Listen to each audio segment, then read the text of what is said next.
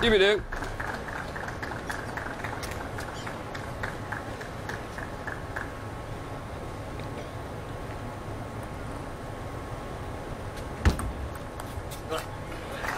这个崔庆磊跟马龙打呀，嗯其实崔庆磊也不是很下风。为什么？因为崔庆磊对马龙的理解，包括这个了解特别的深，因为他俩私下关系非常好，也也是好朋友，在队里也是好队友，呃，老在一起，比方说吃饭啊，或者是就是日常生活呀，对马龙非常了解。所以我我记得有那么两次，我看过他们俩打过两次，反正是比较接近。但是我觉得从球路上，可能崔静磊的球没有那么的先进啊，就是他站的比较中间嘛。，对，呃，应该说马龙如果调动能够正常发挥的话，这个球还是可以拿得下来。因为如果在揭幕战当中摔两分，的确对马龙来讲是一个一一个阴影。我觉得最起码对对，他需要要要要要调整调整调整一下。那输一场输一场没关系，但是第二场的比赛，我觉得马龙一定会竭尽全力。对，因为马龙呢，确实对自己的要求啊比较苛刻。他平时训练也好，完了日常的生活，就像刚才说的，包括他对自己的训练要达到一个什么状态以后，他这种要求非常高，所以他在比赛中他出现这种情况以后，他对自己打的也非常不满意。他不是那种就是可以原谅，就说这个今天我输两分，所以我觉得这场球上来有可能他还是很出毛球颓势，但是他会积极的去想办法。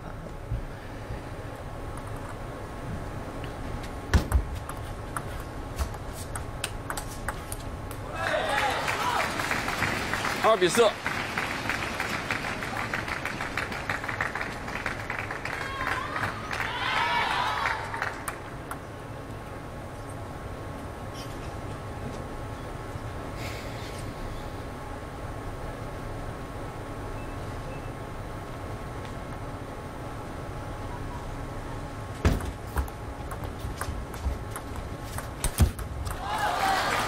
三比四。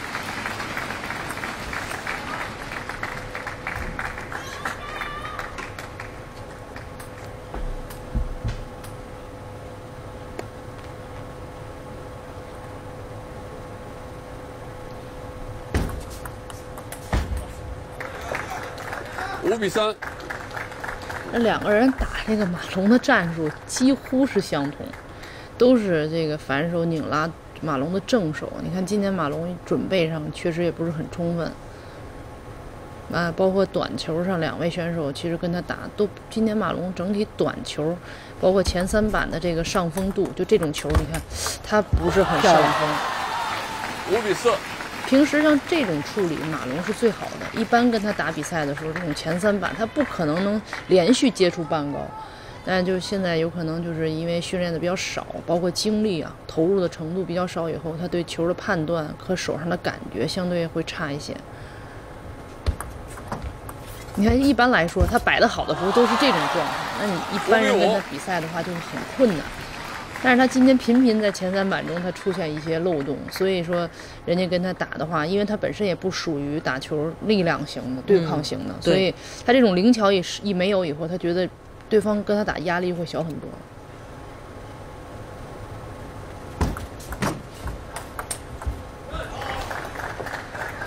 五比六。所以我想，像马龙这样的顶级的选手啊，首先，嗯，还是要能够接受，就是输球很正常。对，你可以赢别人，别人也可以赢你，对是吧？这点上，我觉得他应该就是说，不管是输一场还是输两场，都要坦然接受。对，啊，坦然接受。六比六。再一个呢，他这个刚才我们说了，他有很多活动，嗯，他要回报社会，是吧？呃，也也也会影响他的这个训练，这是必然的。因为从比赛当中，我们可以就是看到一些高难度的球，对就就能看出来，对就你练的不到位。对，还有一个这个，我觉得马龙呢，他也确实没有经历过，他我觉得他经历很多啊，但他没有经历过成为大7比6满贯以后的这个位置，嗯自己的没错状态、没错心态啊、技术啊，现在就是别人在看你的时候，已经不是就是一个世界冠军，人家在看你的时候是一个大满贯、奥运会选手，所以说。呃，我觉得作为他来说，其实也是一个拼对，是一个新的挑战。嗯以前他还有拼的人，就是他的目标是张继科我要去超越张继科。但是现在他已经站在世界第一了，呃，已经把张继科这个难点攻克了。对，那他对作为他来说，他没有任何的目标了，就是他都赢过，但别人呢反倒想去攻克他了，所以我觉得这个也是对他来说一个新的挑战。这个拿完大满贯以后是需要慢慢的去感受、去体会、去调整的东西。是这样，郭燕说的非常在点儿，非常在理。呃，这是对马龙来讲一个新的课题哈。对，因为从奥运会结束之后，大家都知道现在世界男子乒乓球迎来了马龙的时时代对。那么对他的要求会越来越高，大家都会去揣摩他、对，研究他。所以当时丁宁下来的时候，他也老跟我说，他说现在都说是丁宁时代，我说这是外外界对你的这么一个封的一个称号。我说，但是如果你自己也这么认为的话，有可能你会后边的比赛都会打得很艰难。我说他就是一个正常的对手，一个正常的比赛。如果你放不下这个名字的话，有可能你会跟别人比赛的时候，你会先上来让人两三分儿，这是很正常的。十比七，那么这局我们也看到，就是马龙还是没有打出他的一些优势。对就是他其实应该和崔静蕾这样的运动员，这个层次的运动员，他应该比对手明显高出一块儿。对那么高出这一块儿，这一块儿到底在哪儿？就今天没看到。对，因为他首先他有可能他会认为，哎，平时这些人跟我打，以前也不是这样的，他总会觉得人家那个质量也不是这么高，但是现在人家，拼他，就是都都跟他打，就觉得输他是很应该的，所以会打出一些超级球，他总会有点觉得这个球怎么会。人家会跟我这么打，那个球他会有点接受不了，所以这个是慢慢要去适应的。我觉得这也很正常。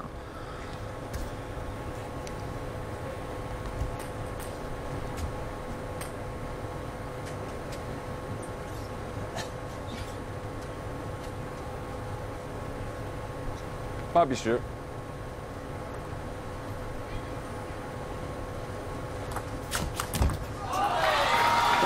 这个发球发的很好，角度大，而且是个侧下，好像侧下嗯侧下旋。很急，嗯，施静蕾是想侧身，没有侧开。对，角度太大。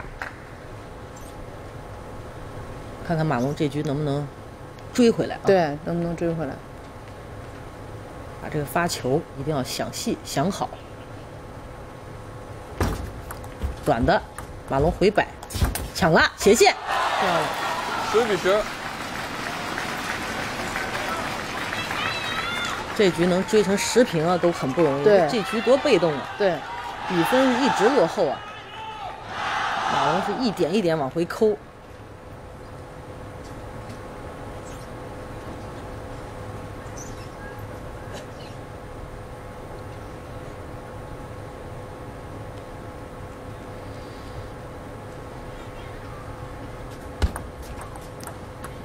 重发球，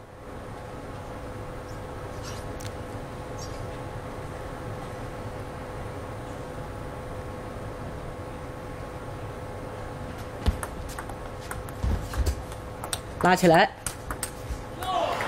哎，他这个反手为什么 十扛不住啊？对，人因为现在这个他整体的，你看他衔接还是就是速度下来了。其实平时的话，他这个就是一上一发动开始，他就完全就起来了，这个重心就提。对他现在，你看他整个打球的时候，他会停完，他会他会有点缓，所以他一下他这个速度一下来以后，衔接速度一下，这是马龙对，这是马龙最特点的球，整体的衔接速度非常快。你看他现在衔接速度一下降以后，明显感觉给别人很大空间。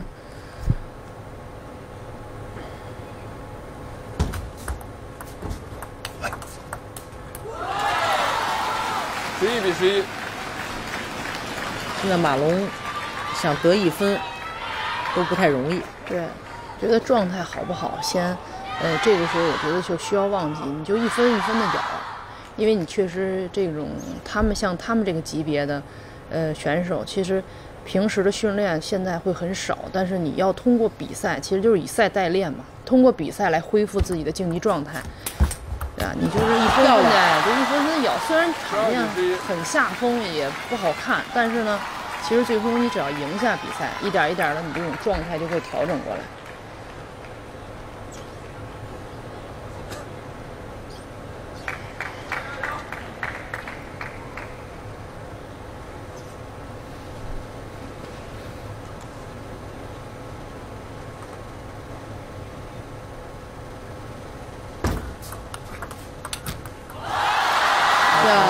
龙十三比十一艰难的赢下了第一局，在一度落后的情况下能够拿下来，真的不容易。